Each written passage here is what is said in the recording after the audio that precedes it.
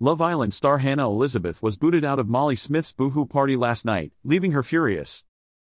The 34 year old and two other stars were asked to leave after being repeatedly told to stop vaping inside the swanky Fenix bar in Manchester. An insider said Hannah was the life and soul of the party last night. She was dancing on the tables, drinking, and vaping. She was asked a few times to stop doing it inside but kept going.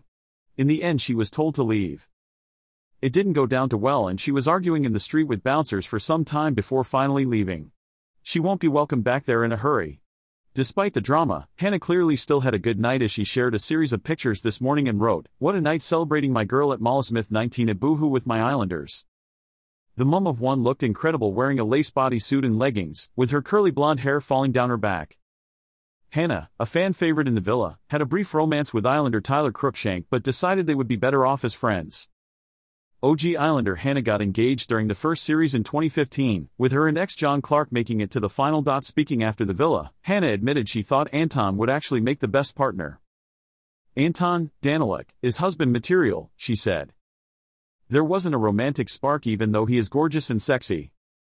We became like husband and wife, just not in a romantic way. He had my back and I had his no matter.